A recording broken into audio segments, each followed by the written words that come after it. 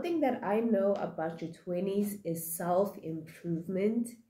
Self improvement is such a huge thing in your 20s. Like, if you are a bum, if you've been swearing, if you don't have the right dialogue, if you can't talk professionally to to people, if you feel like you're insecure or you don't like your weight or you don't like something about yourself, your 20s is that one place where you can improve, be better, do better, really look within and really see what the problem is and try to solve it. And I can say for a fact that having the right friends in your 20s is so important.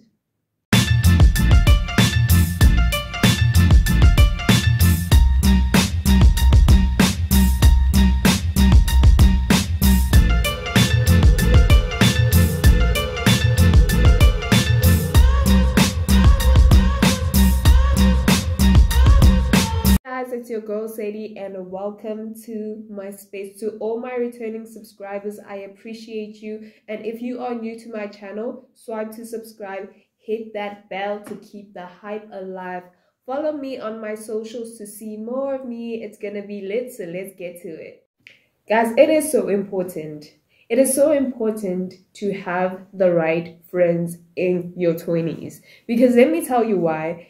The right friends build character you're right the right friends build i mean every friend group or whatever friendship you have will always build your character and will always build the type of character that your friend is or your friend reflects. And if you don't like the things that your friends do like when you're not there or there's certain things that your friends do or engage in somehow it's gonna rub off on you you know, your friends influence the way you think, the choices you make, the things you like, the things you don't like. Like they are like a piece, a very huge piece of your personality. So if you don't have the right friends in your 20s, if you don't have the right friends in your 20s, forget about being the person that you want to be. Forget being the next Oprah. Forget being the next Bill Gates, forget being the next Beyonce because your friends don't align with the role model that you want to, you know, be, you want to become, then you're not going to become that person because it's not aligned with what you want. You don't see a doctor chilling with musicians because they don't have time for that. Doctors must influence other doctors so that they can become better doctors. And rappers must influence other rappers and chill with other rappers to become the best version of themselves as a rapper. You know, you can't chill with a doctor and want to be a musician, rapper, singer, writer, um, because they don't align together. So if you spend more time with people that don't align with what you want in life, you are likely to become something else. And in that moment, you don't notice. I feel like with high school, especially, I feel like with high school, it really depends. And I feel like high school, majority of the time, when you're choosing friends, it is mainly based on convenience. You know, I think most of my friends that I have obtained in high school, I really love and I really enjoy their company. But I got to understand the root of convenience that was within our friendships. Do you understand? Like now I have to maintain the relationships that I have out of high school and I really need to step forward and make decisions based on uplifting my friendships. You know, I have to actually put a budget to go see my friends. I have to make plans to go see my friends and, you know, enjoy their company. Because now more than ever, like I have to step up to the plate to make sure that this friendship is maintained. And obviously I need to see my friends reciprocate that kind of energy back to me. But like with high school, I didn't have to do much, you know, besides the small occasional presents that I would give my friends on their birthdays, you know, show them love on Valentine's Day, you know, that you know, those small presents to just say, yeah, I love you, I understand you, I am present, and I'm here for it, and I appreciate you. But besides that, like waking up in the morning, going to school, and going to see my friends, that is just a matter of convenience. And it really works in friendships that are built in, you know, institutions, high school, primary, work, university, college, you know, any institution that you get to see your friends in and you get to see them every day. It's just a matter of convenience. But once that friendship is not aligned with your work or your school or your daily routine, then it is much harder to actually maintain that friendship. And that's when you see if this friendship is like worthy because it's like you have to now scale. Do I really need to see this person? Do I, you know, and if you get to the point where you start questioning if you need to see this person or not, or if you really want to see this person or not, then you need to sit down with yourself and really ask yourself, is this person putting value in your life? Are you, were, was this friendship based on convenience or was it actually based on the fact that this person is improving you or is, you know, putting you into a state of happiness, joy, you know, are you actually getting something positive out of this friendship or was it just a matter of convenience and just like passing time? You know this person is right here. I'm always seeing them every day and we study the same subjects. We study the same we have yeah we study the same major. So therefore you know it's just a matter of convenience. But once your friendship is challenged and once your friendship is like out of the gates of whatever institution that you guys met in, that's when you actually get to see that, okay, this friendship is important, or this friendship is always actually just wasting my time because there is nothing to this friendship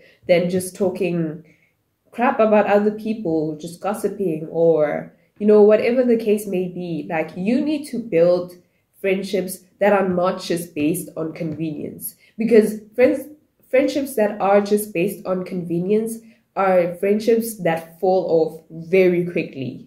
Like once you guys go in different directions and you guys don't want to hang together or you question the fact that you need to hang, you question the fact that you need to come together and, you know, you know, link up and enjoy each other's company. You don't have anything to talk about. It was just a matter of convenience. Then it wasn't a friendship like it was this person was an acquaintance you know it was just a it was just a matter of okay you're here i'm here you know let's let's do something about it. Let's just you know pass time and see where this goes.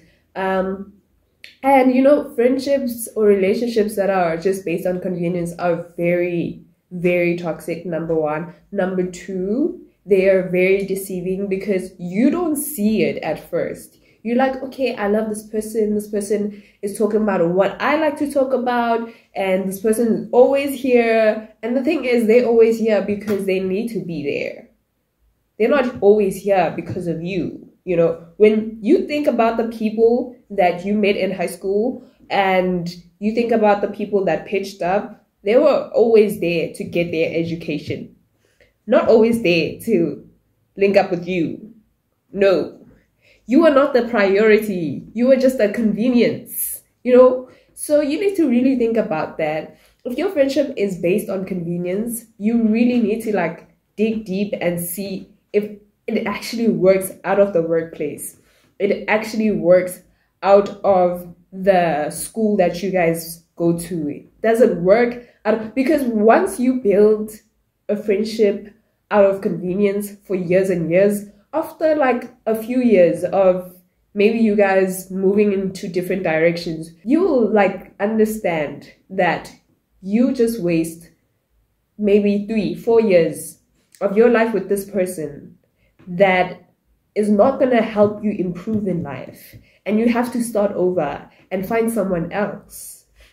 And let me tell you something when you are in an institution, whatever institution, whether it's school, work, college, university, whatever it may be, it is easier to build friendships in that environment and the right type of friendship, it is easier to find friendships in that environment. So if you test your friendship now, like if you look at your friendships and you're like, okay, let's, you know, hang out during school holidays or during the times that we don't have to go to work, then you will see what that friendship is built on. Because if it's just built on convenience, it is bound to waste your time. And you cannot buy time. Do you understand? Like, if that time is gone, it is gone. You know, you're not getting any younger. Like, if it's built on convenience, you need to toss it aside you need to toss it aside because it's wasting your time.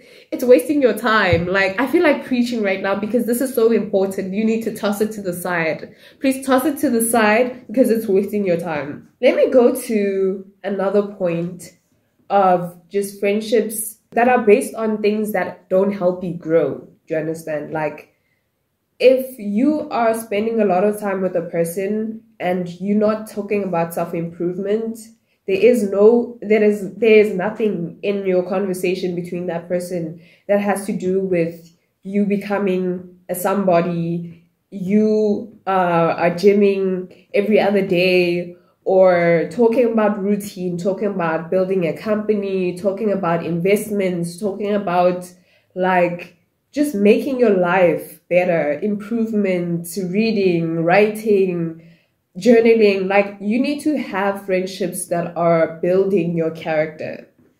And I think I talked about this in the beginning, but I really want to step into the character building aspect of a friendship. Because there is nothing as important as wanting to associate yourself with the right people. Because when you associate yourself with the right people it life is easier you know. Let me say for instance, right, that you just recently became a a mom, right? And yeah, this is like totally hypothetical, but you just became a mother of a child and you need to raise that child and you don't know anything about motherhood, right? Other than the fact that you've read books, you've seen TikToks, videos, on YouTube, whatever the case may be, you've done your research, but obviously you are experiencing it. So therefore, not all books are going to give you the answer. Do you understand? So now, now you build a friendship with someone who recently has a child or someone who has had a child for at least two years now and they have gone through everything you are going through right now and your friendship is built on not only because you guys like the same music, you guys are in the same neighborhood, but because you guys have gone through the same thing, right? It is gonna be easier for you to maintain that relationship because you know for a fact that this person can tell you that when I'm going through this, this is what I do. And the solutions that they give you, they actually work for you too. Like they are proper solutions. Now, that kind of friendship is also based on convenience, but it is also very necessary for you because you're not wasting your time because you know for a fact that this person is going to improve my life. It's going to make this person is going to make my life better because they have been through what I have been through. So in in a way they're like mentoring me to do the right thing so that I don't go through the rough patches they that they have gone through, right? Does it make sense?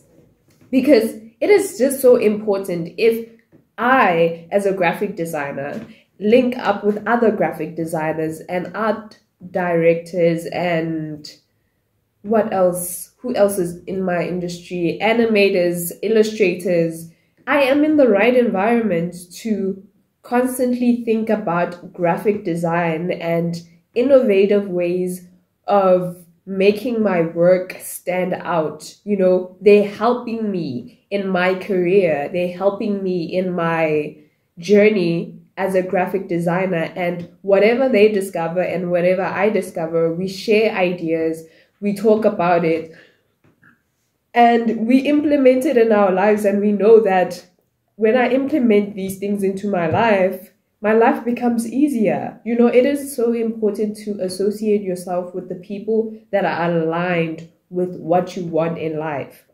Choose peace, choose happiness, choose the right friends so that you don't waste your time, you enjoy your time with them, and they build your character, and you don't need to worry about boundaries and you don't need to worry about the things that those people do when you're not around because if you trust them that much that these people they are aligned with the things that I want to do in life then you don't even need to worry about other things.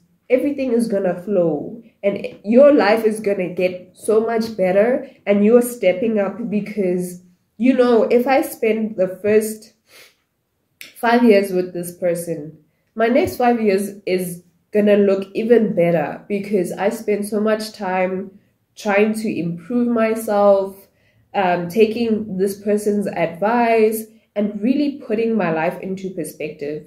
Because now, if you spend your time with the wrong people, I guarantee you now, five years later, you have manifested this life that you didn't even know you were gonna manifest but because you spend so much time with these people that are that are constantly manifesting things that are not aligned with your dreams your ambition the things that you love. You are manifesting things that you don't even know. And 5 years later you live in that reality of whatever you've manifested and it's not aligned with the things that you want. And like you are stuck. You have to start over. You have to reevaluate like okay what did this person bring into our friendship? And also it's not that uh, it's not the other person's fault it's your fault for letting it happen do you understand because i feel like a lot of the time we like blaming other people and you know we like pointing fingers at other people saying this person is not good enough or this person is not putting in the work. No, you allowed them. You allowed them, sweetie. You allowed them. You allowed them to be the people that they are in your presence. You did not reprimand. You did not put boundaries. You did not say anything. You just let it happen. You just let it flow. So, therefore, that's what is going, like, that's what's going to happen because you allowed it to happen you allowed it. It happened because you were like, okay, no, this is lit. No, this is fine. This is okay. Let's let's do it. Let's go with it. It is so dangerous when you don't understand the amount of work and the amount of character building, personality, choices that you made. If it's if you don't realize how important it is that you have the right friends, you get to a place where you make decisions and you look back at this decision like two years later and you're like, how did I come to this decision? That is so dumb. That is so stupid. And then you look at the friends that you have, you look at the conversations that you have with those friends, and you realize it comes from that. It's rooted in that. It is so sad. Like, it is so sad. It has happened to me. Um, so many times where I chill with a person and at the moment it feels fun, it feels nice, I'm passing time.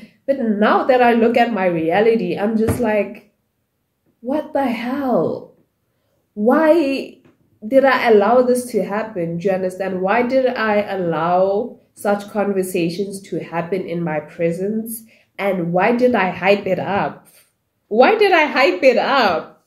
Like it is so wrong. It is so bad. Why did I hype up such things? Guys, the amount of character building and personality and the amount of choices that you make because of your friends. Not because of you. Never because of you. Because of your friends. that the amount of peer pressure that comes with friendships. The amount of the subconscious choices you make because of your friends. There's so many choices you base because of the influence. You are constantly influenced. And if you are influenced by the wrong people, you make the wrong things, you make the wrong choices. and then you look five years later and you're like, how did I get to this? It's because of the people you associate yourself with. Jeez. Stop. Please. Stop. Please stop. It's not cute. Don't do that to yourself. Have the right friends that you know will build you, that you know will help you succeed, that you know for a fact will help you succeed in whatever goal that you have. Whether your goal is going to the gym every day, that is simple. It is fun, it is simple, then associate yourself with a gym buddy. Because you know that there needs to be that one person that is motivating me to go to the gym. Because you can't do it alone. You can't always do things alone. It like life doesn't work that way. You can't just do things alone you know? You need to have a partner so that things can happen. And they can happen smoothly easily and you know in a fun way. You need a partner. But make sure that that partner is motivating you to do the things that you want to succeed in in life. You need you can't just succeed out of nowhere no no. You need to have a partner but make sure that you are having you know you choosing the right partner. And when i say partner partner can be a friendship a relationship just choose the right people you know. If you need to have a checklist of the characters that a person possesses to be in your life have that checklist. Have that checklist the same way that you are interviewed, you go through um, people analyze you and when you when you have to you when you apply for a job they need to look at your papers. They need to check if this person is the right person for us. The same way that people recruit other people into positions you i'm not saying like interview people and ask for their resume but like make sure that the people you associate yourself with are aligned with what you want. Do you understand? If you have to look at the resume, then do it. If you have to look at their portfolio, you know, if you have to look at what they're into, then look into it first before you apply to this thing called friendship because friends, guys, friends build who you are. Like when you look at yourself and you look at your friends, it is more or less the same thing. It is like a mirror in terms of personality. The personality that you have as a person is built around your community, is built by the people around you. So your mother, your father, your sister, your brother, and your friends. And mainly, I feel like your friends build your personality more than anything because you are likely to spend time with your friends than your family. You know, I feel like there is family time and it is necessary to spend time with your family, but you are likely to spend at least 50 to 60% of your time with friends more than you are with your family. So the way you talk, the way you carry yourself, the what you talk about, what you think is important, that is built with through friendship that is built through friendship. That is built your personality how you present that is based on your, the friends that you have. Now if the friends that you have are doing other things that doesn't align with what you want to do in life scissors cut them off cut them off cut them off. Sis cut them off because you are wasting your time. You are wasting your time with the wrong people that don't value you, that don't value what you bring to the table, and you are just wasting your time. And the worst thing in life is just wasting time on people that don't value you, that don't value what you do. You know, they just want to tag along. You are just a convenience to them. Don't do that to yourself. Don't do that to yourself. Anyway, I hope that really helped you in terms of navigating friendships in your 20s. It is very important that you choose the right friends. But I got into it and I'm glad that you guys stuck around until the end. I appreciate you guys. Comment down below the toxic traits that you have seen in friendships after like, you know, after like two, three years, you're like, hey, all of a sudden, you know, like comment below, let me know what are the toxic traits that friendships have, especially like friendships that are based on convenience like comment down below let me know what kind of like toxic traits that friendships all of a sudden just come up with. Let me know down below comment and like comment subscribe guys. Until next time until next time